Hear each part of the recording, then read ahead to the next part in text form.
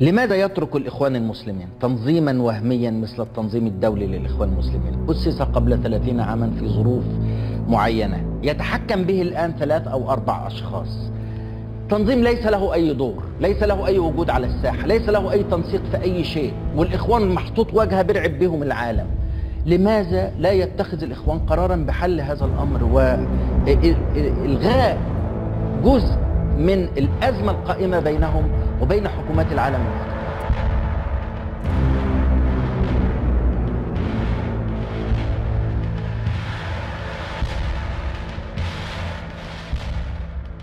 بدت هذه الكلمات التي خرجت من أحمد منصور المذيع في قناة الجزيرة القطرية كما لو كانت انقلابا على التنظيم الدولي للإخوان المسلمين الذي يشغل حاليا إبراهيم منير مصطفى المقيم في العاصمة البريطانية لندن منصب الأمين العام له. فالتنظيم الدولي ليس وهميا ولا واجهة يرعب بها الإخوان حكومات العالم. كما قال منصور فهو لا يقتصر على أشخاص تجتمع من وقت لآخر في إسطنبول أو إحدى العواصم الأوروبية بل واقعه على الأرض أنه يمثل شبكة من الجمعيات والمراكز والشركات والمؤسسات المالية أسست منذ عقود ومنتشرة في بلدان عديدة. غرضها الأساسي هو خدمة أهداف جماعة الأخوان. الحركات الدعوية أهدافها بتبقى معروفة لكن التنظيمات السرية التي تأخذ الطابع الدولي زي تنظيم الإخوان أصبح له وظائف جديدة. أهمها إحداث ما يسمى بالانقلاب من الدولة العلمانية إلى الدولة الإسلامية. أهمها أن يحدث تكدس للأموال على مستوى العالم في يد هذا التنظيم. الهدف من إنشاء التنظيم الدولي يعمل على توحيد الفكر والخطط والبرامج اللي بيقوم بها الإخوان على مستوى التنظيمات الإخوان في الأقطار المختلفة بحيث ما يبقاش فيه قطر فيما يتعلق بالفكر فيما يتعلق بالثقافة بالمنهج بالوسائل بالآليات مختلفة عن الإيه؟ التنظيم الآخر. يصبح هذا التنظيم الدولي نوع من ال ال ال يعني المخابئ الآمنة لأي ضغوطات تحدث على التنظيمات المحلية. عام 1928 وفي مدينة الإسماعيلية وضع حسن البنا اللبنات الأولى لتنظيم الإخوان الذي ما لبث أن انتقل به إلى القاهرة وباقي ربوع مصر. كان السمع والطاعة هو المبدأ الأساسي الذي وضعه البنا وقامت عليه العلاقات بين أعضاء التنظيم في مختلف الأقطار ومرشدهم. طاعة عمياء.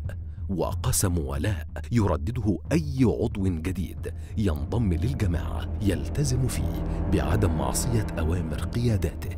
اللهم إنا نشهد اللهم إنا نشهد ونعاهد ونعاهد على أن نعمل على نصرة دينه. على أن نعمل على نصرة دينه. ودعوته. ودعوته.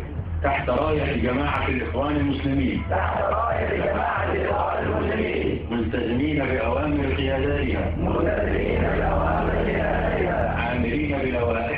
وقوانينها عاملين بلوائحها وقوانينها. رأى البنا في جماعته الوليدة نواة لإعادة ما يسمى بالخلافة الإسلامية التي سقطت قبل أربع سنوات من بدء دعوته. فتعامل مع المجتمعات الإسلامية وخاصة المجتمع المصري حينذاك كما لو كانت مجتمعات جاهلية تحتاج لتتعلم دينها من جديد.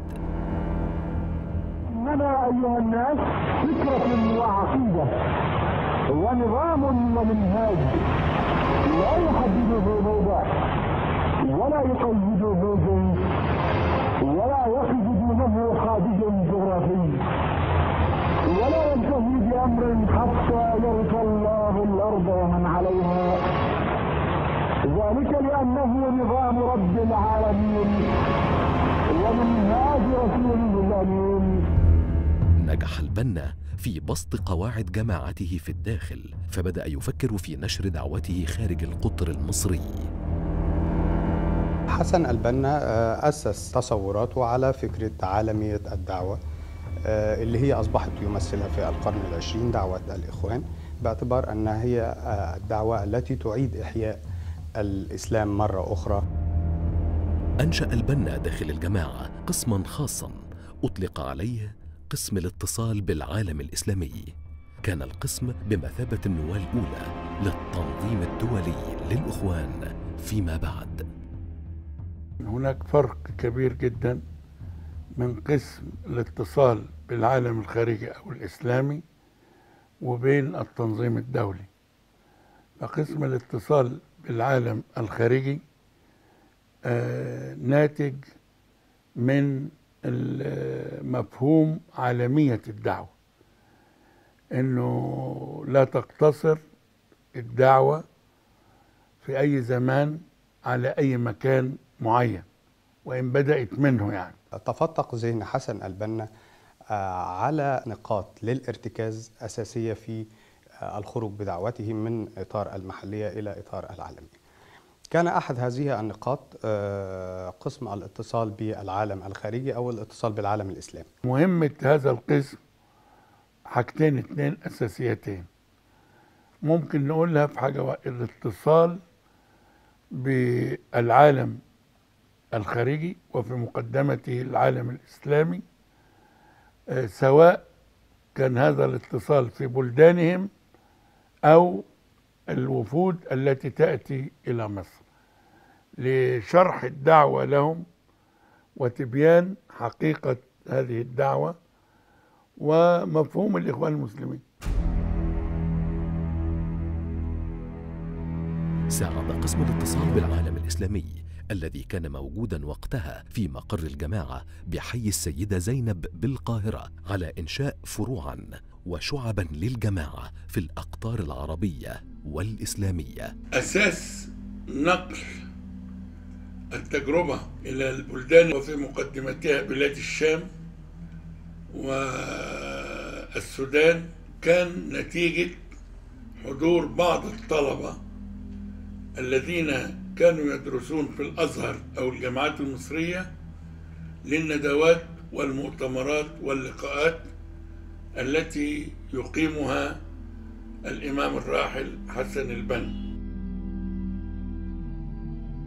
كان اعتماد البنا على نقل تجربة الأخوان خارج مصر على عدد من كوادر التنظيم حينذاك وكان على رأس من أوكل إليهم المهمة سعيد رمضان صاحب الدور المحوري عبر قسم الاتصال بالعالم الإسلامي في بناء تنظيمات الإخوان في دول عديدة بجانب أنه فيما بعد أصبح العقل المدبر لبناء شبكة الأخوان في أوروبا.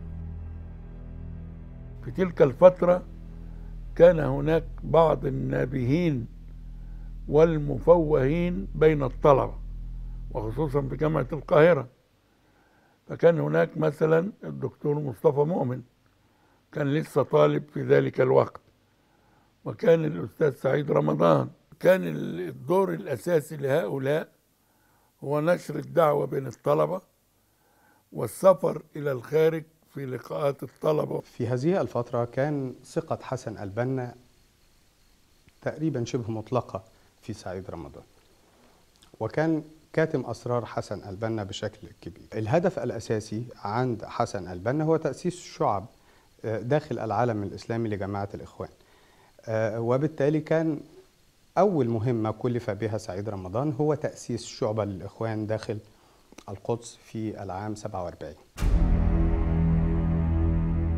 أغتيل حسن البنا في الثاني عشر من فبراير عام 1949 بعد أكثر من شهرين من اغتيال الجماعة لرئيس الوزراء ووزير الداخلية النقراشي باشا الذي كان قد أصدر قرارا في الثامن من ديسمبر عام 1948 بحل جماعة الإخوان ومصادرة سجلاتها ووثائقها وأموالها. بل وحظر نشاطها وغلق جميع مقراتها.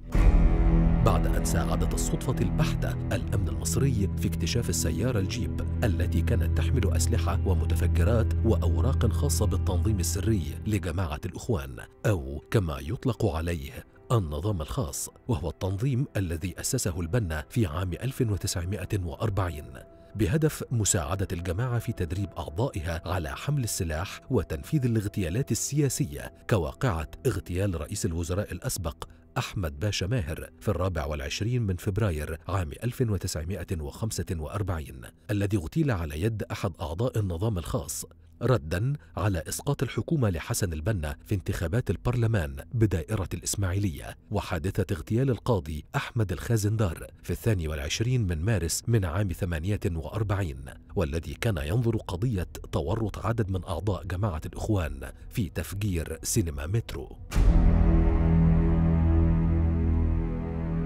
كانت الدعوة وصلت للسودان وصلت الأردن وتأسست جماعة الإخوان المسلمين وصلت لبنان وصلت فلسطين وسوريا فأصبح هناك إمكانية لأن يتحرك الإخوان خارج مصر في لسد الفراغ الذي حدث في مصر. بعد عام ونصف من اغتيال البنا اختير حسن الهضيبي عام 1951 مرشدا عاما للجماعة. وبدأت الجماعة وفق اتفاق جديد مع القصر تستعيد نشاطها بعد عامين من قرار الحظر. فاستعاد قسم الاتصال بالعالم الإسلامي نشاطه داخل مصر وخارجها حتى جاءت ثورة الثالث والعشرين من يوليو عام 1952 أيد الإخوان بقيادة حسن الهضيبي حركة الضباط الأحرار في الإطاحة بالنظام الملكي وبدأ للهضيبي أن التحالف الجديد مع ضباط ثورة يوليو سيسمح لجماعته بتقاسم السلطة معه وفرض رؤية الجماعة على الجمهورية الوليدة في مصر آنذاك فكان الصدام حتمياً.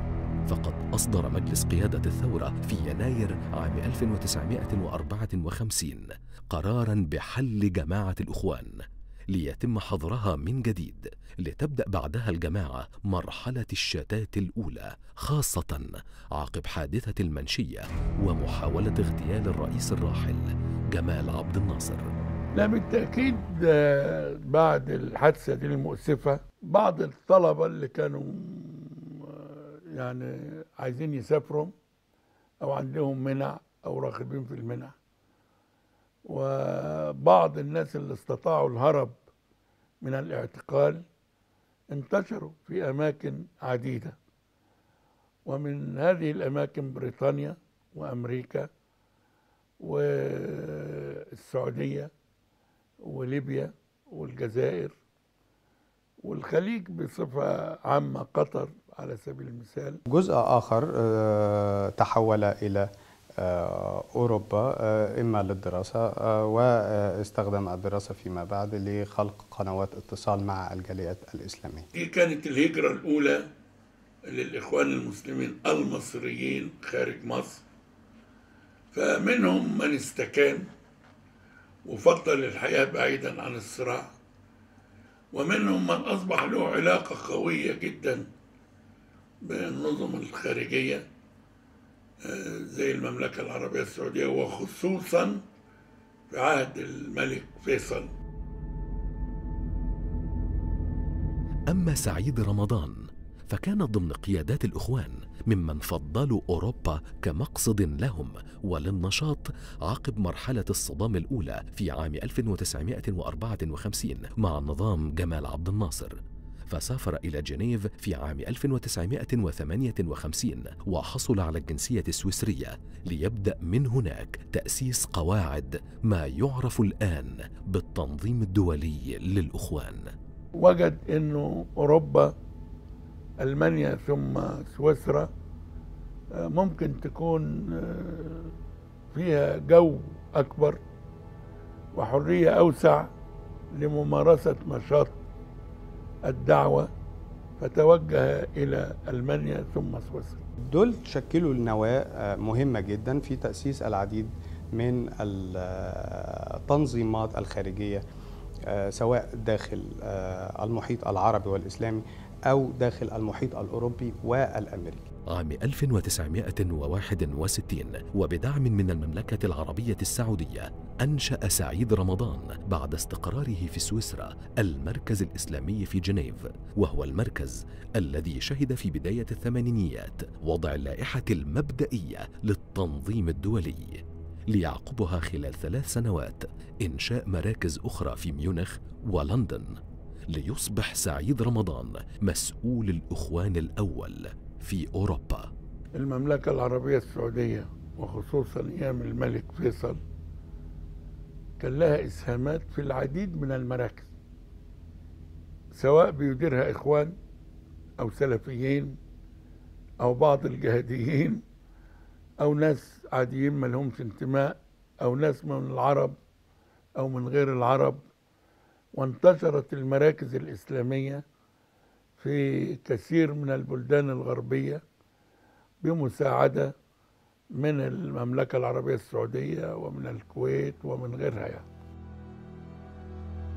ركز سعيد رمضان من خلال المركز الإسلامي في جنيف وميونخ على الوافدين من الطلبة العرب والمسلمين وبدأ في تجنيد هؤلاء الطلبة لصفوف التنظيم فوسع نشاطه في ألمانيا التي كانت تستضيف جالية تركية كبيرة لتتحول ميونخ مع جنيف ولندن إلى أهم المدن الأوروبية التي تشهد نشاطا مكثفا للأخوان. النقطة المفصلية هنا هي نقطة الستينات شهدنا في هذه الفترة تجمع عدد من الطلاب داخل أوروبا آه، لتأسيس كيانات آه، تمارس العمل الإسلامي وفقا للمفهوم الإخواني. ظلت أنشطة الإخوان داخل مصر عقب مرحلة الشتات الأولى في منتصف الخمسينيات ومطلع الستينيات مجمدة إلى أن وقع الصدام الثاني بين الجماعة ونظام جمال عبد الناصر على خلفية تنظيم 65 الذي اتهم أعضاءه بمحاولة إحياء نشاط النظام الخاص في الداخل المصري فحكم على قيادات الجماعة إما بالمؤبد أو بالإعدام. وكان على رأسهم سيد قطب الذي تحولت كتبه معالم في الطريق وفي ظلال القرآن كأهم مراجع تبرير ممارسة العنف سواء داخل الإخوان وجماعات التكفير الأخرى في مصر والعالم. توفي جمال عبد الناصر في سبتمبر عام 1970 وبدأت بعدها جماعة الإخوان مرحلة جديدة مع الرئيس الراحل. محمد أنور السادات الذي أخرجهم من السجون وسمح لهم بحرية الحركة والعودة من الخارج بل والنشاط الدعوي والسياسي دون قيود. وصل الأمر إلى استخدامهم لضرب التيارات الناصرية والاشتراكية. السادات بيعاني من المجموعة الاشتراكية بارزة ال- الفكر آه، والسياق اللي حوالين عبد الناصر. زي سامي شرف وعلي صبري. رحم الله الجميع.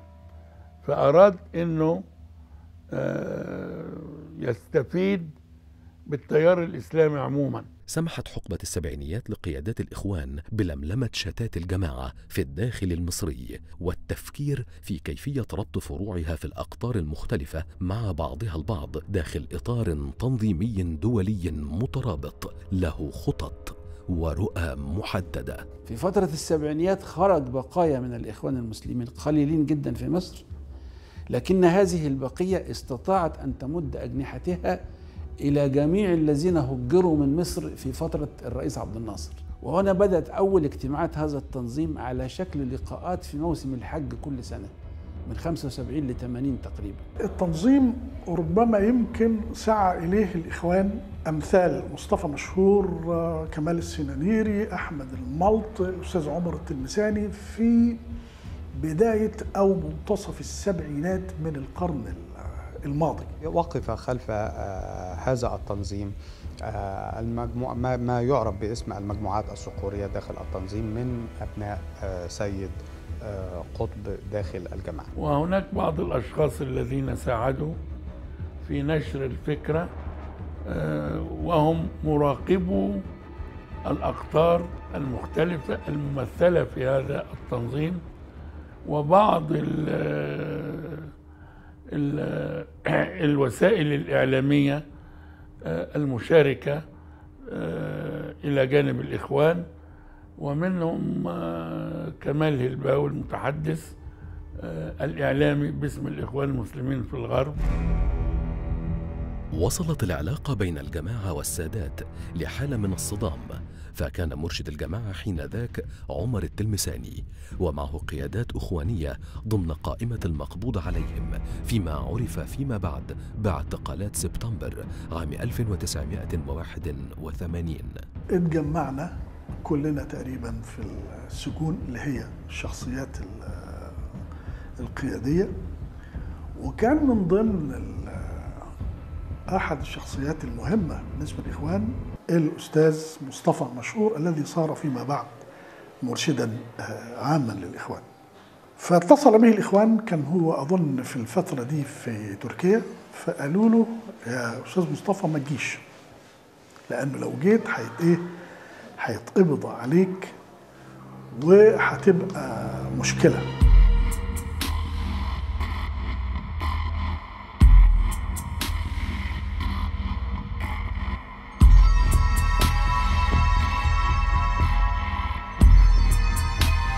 عند اغتيال الرئيس السادات سافر قبلها بأيام عدد من إخوان التنظيم الخاص في مصر الذين لهم قوة تدريبية وقوة يعني تنظيمية إلى هاربين من عملية الاعتقالات التي تمت بناء على قرار السادات أو بعد اغتياله كان على رأسهم طبعا الحاج مصطفى مشهور أقواهم أقوى الاسم يعني.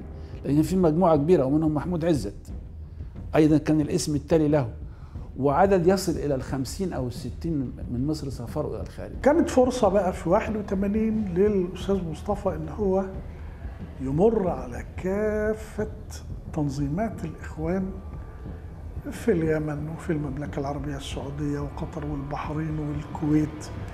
آه، فضلا عن آه، الإخوان اللي موجودين في أوروبا وفي أمريكا. وتمكن الرجل من إن هو يعمل نوع من التوحيد إذا جاز التعبير في الفكر وفي الوسائل وفي الأهداف. وما آه إلى غير ذلك. بعد اغتيال السادات وتولي مبارك الحكم كانت كوادر الجماعة في الخارج بقيادة مصطفى مشهور وسعيد رمضان. قد نجحت في وضع اللائحة الأولى للتنظيم الدولي للأخوان.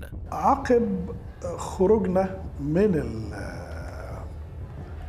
من السجن في يناير وما تلاه بدأنا بالفعل إيه نجهز نفسينا لل لحضور مجلس الشورى ال- العالمي وكذلك مكتب آه، الإرشاد.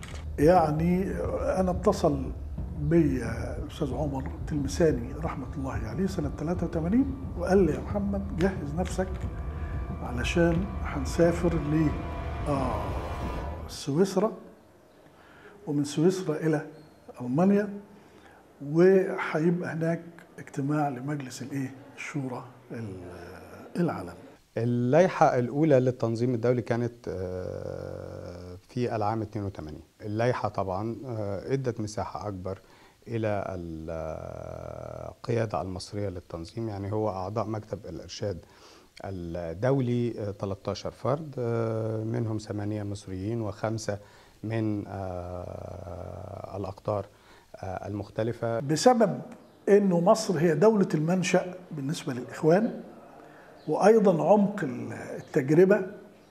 فضلا عن الكثافة العددية للإخوان أعلى من كثافة الإخوان في أي قطر آخر. آه، فكانوا بيفضلوا أن يقدموا آه، أن يكون المرشد من مصر. واللائحة بتنص على أنه يبقى ثمان أعضاء من ال 13 أي من مكتب الإرشاد العام يكونوا من البلد اللي هو بيبقى فيها الايه؟ المرشد حتى يتسنى لو إن هو لا استطاعش الخروج يبقى من خلال وجوده في بلده أن يأخذ الايه؟ القرار المناسب بالنسبة للتنظيم الدولي. أصبحت كافة فروع الجماعة في البلدان المختلفة ممثلة داخل إطار التنظيم الدولي الوليد. وتقام اجتماعات دورية لهم بانتظام في إحدى العواصم الأوروبية أو الإسلامية. بداية الثمانينيات بدأت الجماعة آه، تطور من هيكلها الداخلي بما يسمح بالتمدد الأفقي للتنظيم آه، بدلا من فكرة التمدد آه، الرأسي. تفتق ذهن الجماعة في هذا الوقت عن تأسيس كيانات فوق قطرية تسمى الأجهزة.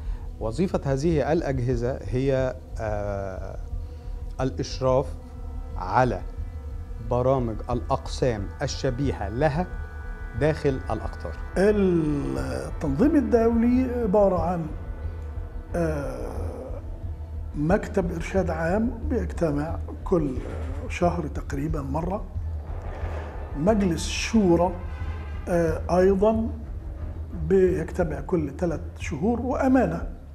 وبيتفرع عن مكتب الإرشاد العام آه، عدد من الأجهزة زي التخطيط والسياسي وجهاز الأخوات ونشر الدعوة وأسر التربية وما آه، إلى غير ذلك. مع مطلع التسعينيات بدأت الجماعة تفكر في وضع استراتيجية جديدة لتحركاتها العالمية. فاستبدلت فكرة الانتشار بفكرة التمكين. إحنا يمكن في عام 92 اجتمع آه، مجلس الشورى التنظيم الدولي على ما اذكر كان في ميونخ ألمانيا وأقر استراتيجية عامة وهي إنه يبقى فيه سعي من الإخوان بشكل عام لما يمكن أن يطلق عليه آه، الاتحاد كونفدرالي. هناك جهاز مستحدث اسمه جهاز التخطيط. جهاز التخطيط هو بمثابة العقل المفكر للتنظيم الدولي. يعني هذا الجهاز يعمل على وضع الخطط المرحلية آه، للوصول إلى مرحلة تمكين. أعضاء التنظيم بالأقطار المختلفة من الوصول إلى آه، سدة الحكم عبر خطة بيتم تحديثها كل أربع آه، سنوات. إنه يسعى كل تنظيم إخواني قطري في بلده للوصول إلى الحكم عن طريق ال- ممارسه الديمقراطية. فإذا استطاع الإخوان وكانت هذه توصية إنهم يسيروا في خطوط متوازية إنهم يصلوا إلى الحكم يبقى الخطوة كل في بلده يبقى الخطوة التي تلي أنه يبقى فيه اتحاد كونفدرالي. لم تستطع جماعة الإخوان إخفاء خطة التمكين أو استراتيجية الوصول للحكم التي أقرها التنظيم الدولي في اجتماع ألمانيا ففي نفس العام أحيل القيادي الأخواني خيرت الشاطر للمحاكمة في القضية التي عرفت إعلاميا بقضية سلسبيل. بعد أن ضبط الأمن المصري داخل منزله وثائق خطة الجماعة للاستيلاء على الحكم. دفعت خطة التمكين الرئيس المصري الأسبق حسني مبارك إلى تغيير تعامل الدولة مع جماعة الإخوان وتنظيمها الدولي من خلال تقييد حركة قيادات الجماعة في مصر والحيلولة دون حضورهم لاجتماعات التنظيم الدولي. الإخوان في عهد مبارك كان هناك لعبة زي لعبة القط والفار من ناحية. وكان هناك مبدأ بينهم مبدأ المشاركة لا المغالبة والمشاركة دي النظام بيقول أنا اللي حددها مش الإخوان اللي حددها ولا الشعب اللي يحددها استفاد الإخوان بهذه ال- اللعبة في الحركة الواسعة. فلما كان بيحضر سفر مثلا مهدي عاكف غيره بيسافر. يحضر سفر عبد المنعم أبو الفتوح غيره بيسافر. فكان بيبقى في باب مفتوح دايما مع الأمن ومع النظام في هذا الإطار. التنظيم الدولي كان يعني محدود. الإمكانات متواضع. النشاط قبل أن يصل الإخوان المسلمون إلى ال- الحكم. وده بسبب مشكلة إحنا كنا بنسميها زمان مشكلة الانكفاء القطري ثم المشكلة الأخرى وهي إن كل تنظيم إخواني في أي من الأقطار عادة ما يكون منشغلا بالمشكلات بتاعته في في بلده.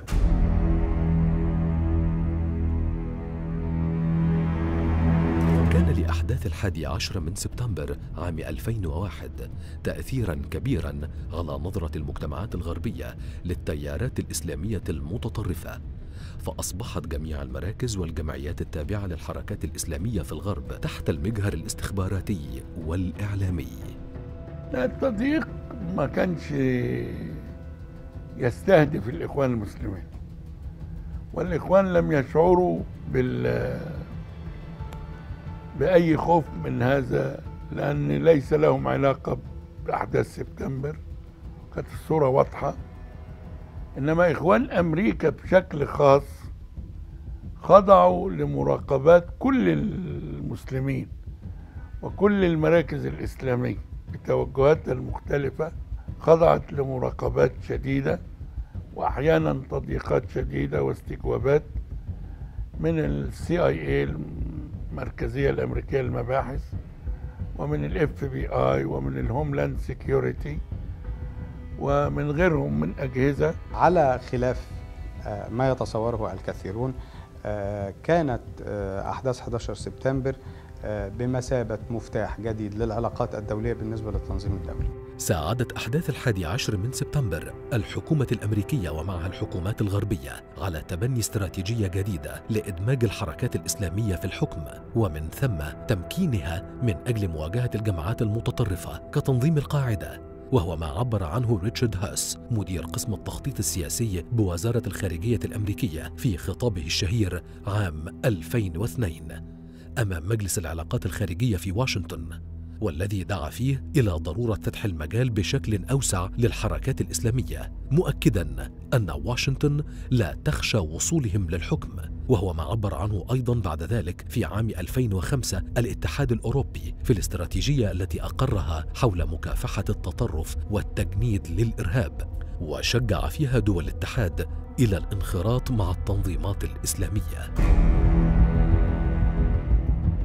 ساعد حصول إخوان مصر على 88 مقعدا في برلمان 2005 قيادات التنظيم ممن أصبحوا نوابا في البرلمان على السفر للخارج لحضور اجتماعات التنظيم الدولي دون مضايقات سواء كانت في أوروبا أو إحدى الدول الخليجية. يمكن في مرة وحيدة اجتمع مجلس أو مكتب الإرشاد في الكويت لكن آه كنا أيضا بنجتمع مثلا في المملكة العربية السعودية أثناء فترة الحج. يعني بننتهز فرصة إنه الناس كلها موجودة والأمن منشغل وإلى آخره.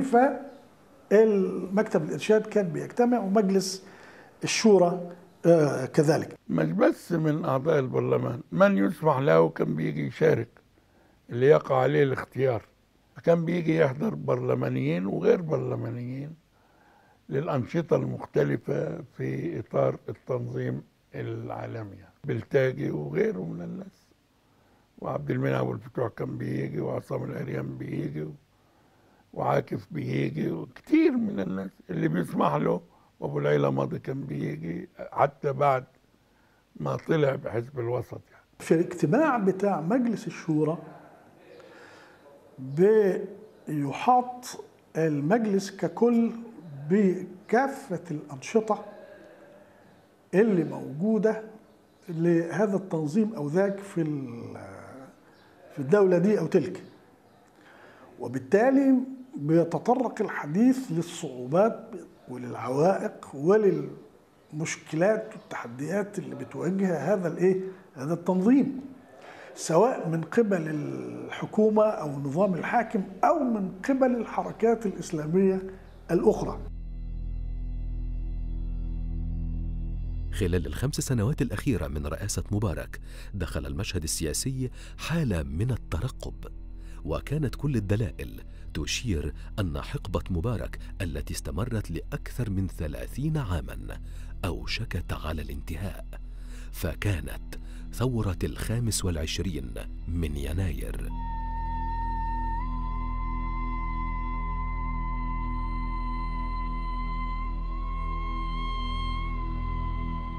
شعرت جماعة الإخوان بعد ثورة يناير أنها قد اقتربت من تحقيق استراتيجية التمكين فبدأت قيادات التنظيم الدولي تعود إلى مصر. كل الناس جت مش بس الإخوان حتى الجماعات المتشددة جت وأسقطت الأحكام أو بعض الأحكام ورجع الناس كلها مش بس الإخوان المسلمين. أنا واحد من اللي رجعوا. بعد 25 يناير رجعت بعد شهر ونص حصدت الجماعة أغلبية مقاعد برلمان 2012 ووصل مرشحهم محمد مرسي إلى مقعد الرئاسة. وبدأ للجميع بمن فيهم تنظيم الأخوان في الدول المختلفة أن مصر قد دانت لمكتب الإرشاد حين ذاك في حي المقطم بالقاهرة. بعد أن وصل الإخوان آه، آه، في مصر إلى سدة الحكم في الواقع أنه ده ألهب شعور وحماس الإخوان في كافة الأقطار أنهم يبدأوا إيه؟ ينشطوا ويبدأوا يتحركوا لكي ينفذوا بقية الخطة الاتحاد الكونفدرالي آه، المستقبلي. بصرف النظر بقى عن نظم الحكم القائمة وهل هترضى بهذا وإلى آخره. خلال العام الذي قضاه الإخوان المسلمين في الحكم كانت مراكز وجمعيات وشركات التنظيم الدولي في أوروبا وأمريكا تتحول إلى ما هو أشبه بشركات العلاقات العامة التي تحاول وقتها تبييض صورة رجلهم في الحكم. وبالتالي ف آه، بتفتح بقى هي الباب على مصراعيه للتنظيم الدولي إن هو يتحرك وينشط ويبقى له أذرع في بريطانيا وفي آه، تركيا وهنا وهنا. الكل بيخطب ود ال- الإخوان. وصل الأمر إلى ما لم آه، ما لا يتصوره إنسان. شركات تنشأ آه، حاجات إعلامية قنوات تلفزيونية والى آخره. خرجت الملايين من الشعب المصري في الثلاثين من يونيو عام 2013 تطالب بإسقاط حكم جماعة الإخوان بعد عام واحد من سيطرتهم على السلطة. وكان دافع المصريين في الثورة على حكم الإخوان انتهاجهم لسياسة الإقصاء والتهميش للقوى المجتمعية وسعيهم لإخوانة مؤسسات الدولة هدف السيطرة التامة عليها. هذا بجانب شعور الجماهير المصرية أن الديمقراطية بالنسبة لمكتب الإرشاد ورئيسهم في الاتحادية لم تكن سوى سلم تصعد من خلاله الجماعة للحكم فتفرض مشروعها الديني بما يخالف هوية المصريين وثوابتهم الوطنية. هذا بجانب الانهيار الاقتصادي الذي شهدته البلاد كما رهبت المعارضة وتم استخدام العنف تجاه المعارضين. فكانت الثورة على حكمهم. أمر حتمي لتبدأ بعدها الجماعة في مرحلة الشتات الثالثة من تاريخها وكانت وجهتهم هذه المرة تجاه تركيا وأوروبا وأمريكا ودولة قطر. الألوف التي هربت بما آه، بمن فيها من كفاءات وقدرات استطاع التنظيم الدولي إن هو يجندها. استطاع التنظيم الدولي إن هو يستثمر وجودها وده إحنا بنشوف إنه ناس بتسافر الولايات المتحدة الأمريكية وتقعد مع الكونجرس وتقعد مع فلان وتقعد مع علان. يعني الباب مفتوح ليه؟ لأنه الإطاحة بحكم الإخوان في مصر كان بالنسبة للإدارة الأمريكية الإطاحة بأحلامها ومشروعها في الإيه؟ في المنطقة. كانت الفترة التي تلت الثلاثين من يونيو من إسقاط حكم الرئيس المعزول محمد مرسي. من أصعب الفترات التي مرت بها الجماعة فبعيدا عن حظرها للمرة الثالثة منذ نشأتها إلا أن أعمال العنف التي قام بها أعضاء الجماعة سواء ضد أهداف أمنية أو مدنية. كانت بمثابة جرس إنذار للدول الغربية لمراجعة أيديولوجية وأفكار الجماعة كالحكومة البريطانية التي يبدو أنها وعت لخطورة التواجد المكثف لشبكة الإخوان في لندن وعبر المملكة المتحدة. كان هذا الجزء عن نشأة ما يسمى بالتنظيم الدولي. وفي الجزء الثاني من هذا التحقيق سوف نأخذكم إلى العاصمة البريطانية لندن لنكشف معا بالصوت والصورة شبكة التنظيم الدولي للأخوان هناك وخلفيات تقرير حكومة ديفيد كاميرون الذي صدر في ديسمبر عام 2015 حول أنشطة التنظيم في المملكة المتحدة.